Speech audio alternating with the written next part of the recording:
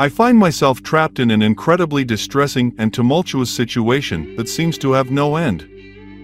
It revolves around an individual, a woman or rather a lady from hell, who has wreaked havoc upon my roommate's life, pushing him to the brink of madness. This person's actions have been nothing short of terrifying, engaging in excessive drinking, a rampage of destruction, and constantly issuing threats that hang like a dark cloud over our daily lives. Despite my roommate's attempts to distance himself, she persists, bombarding him with incessant text messages that serve as a constant reminder of her malevolence. I, fortunately, had the foresight to block her messages, shielding myself from her toxic influence. But there is more to this nightmare. It seems that her sinister intentions extend beyond emotional torment. I have a deep-seated suspicion that she may have tampered with the very foundation of our sanctuary, the house itself. Although I lack concrete evidence to support this claim, there have been unsettling signs and unexplained incidents that point to possible poisoning. The air hangs heavy with an undercurrent of danger, making us question our own safety within the confines of our home. Adding to the surrealism of it all, I recently spotted a silver car parked discreetly in our driveway, a haunting reminder that we are under constant surveillance. My curiosity compelled me to step outside and confront the mysterious intruder. However, as soon as they caught sight of me, the car abruptly sped away, leaving behind an eerie silence that unsettled me to my core.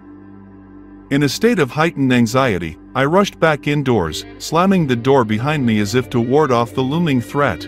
It was in that moment that I awakened my roommate from his alcohol-induced stupor. Disoriented and disheveled, he reached for his phone and dialed the number for emergency assistance. The police arrived promptly, their presence a temporary respite from the chaos that has consumed our lives. They reassured us, explaining that the troublesome individual should not have been able to breach our property without providing a mandatory 24-hour notice. Concerned for our safety, they advised us to change the locks, a precautionary measure to fortify our defense against her relentless pursuit of control. As if the nightmare couldn't get any worse, the following day brought with it an unexpected visit from the sheriff. Their purpose was to serve my roommate with an unsettling notice, informing him that he has a mere 30 days to vacate the premises. The weight of this realization hit him hard, triggering a severe nervous breakdown that shattered the remnants of his already fragile state.